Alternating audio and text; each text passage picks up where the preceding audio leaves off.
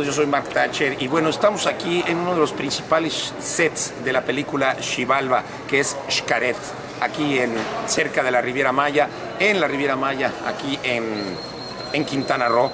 Y de verdad yo les pido y, les aseguro que no dejen de visitar toda esta zona del sureste mexicano.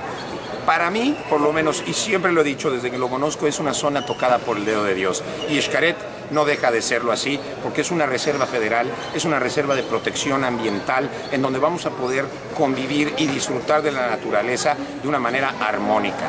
Gracias de verdad a toda la gente por tratar de venir a este paraíso mexicano, por cuidarlo y por siempre, siempre hablar de él como se merece, que es, como dije bien, un paraíso. Así que vengan, vengan, disfrútenlo mucho, disfruten la película de Xibalba y arriba los potros de hierro del Atlante, que esos vamos a ser campeones el próximo año después de habernos salvado del descenso. Arriba mis potros de hierro, ¿cómo de que no?